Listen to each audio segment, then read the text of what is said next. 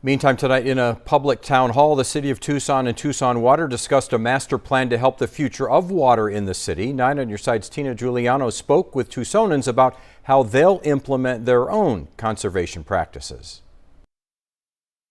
Just in general, short showers.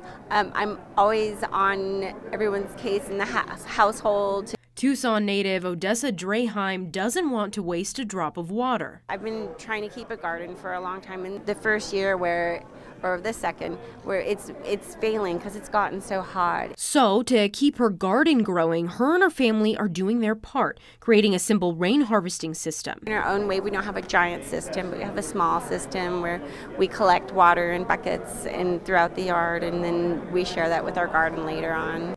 And the city of Tucson is trying to build upon practices like these with their new master plan called One Water 2100. Rely just on one resource, but when we have it available, we store it and we use it and we and we store it for the future. Despite Arizona losing a fifth of its Colorado River allotment, the city leaders say Tucson has a robust water supply. We know that the river is in crisis but that does not mean that Tucson's in crisis. River water is just one of the sources for Tucson's supply. That we're using rain and storm water, that we're using recycled water in order to make sure that we have many choices. The plan will provide guidance for a more sustainable future, which starts at home. You're turning uh, off your faucet while you're brushing your teeth, or you're taking shorter showers, or you're minding your irrigation when you're doing your outdoor watering. The master plan will be implemented sometime in 2023.